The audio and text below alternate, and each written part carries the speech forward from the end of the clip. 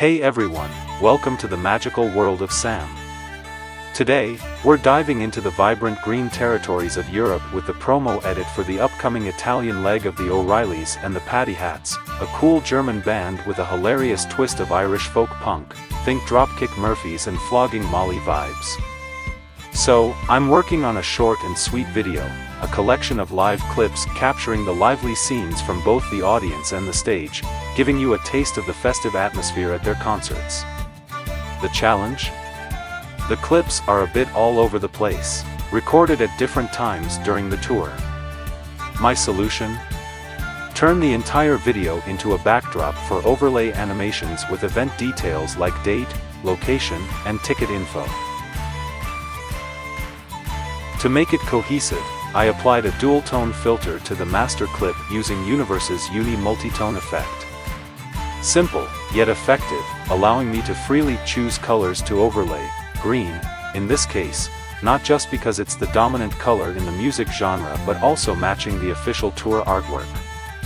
Speaking of artwork, the next step was extracting graphic elements for animation in Final Cut. After masking and exporting them to PNG, I imported them for individual animation. This process is crucial for adding depth through motion graphics effects, like Tap 5A in-out animation and the earthquake effect for dynamic movement.